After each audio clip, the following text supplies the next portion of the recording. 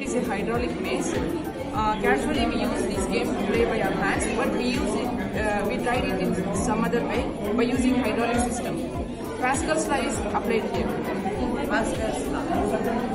The, the pressure of uh, the fluid uh, will, get translated without change in magnitude uh, in the fuel, in that container. So now if we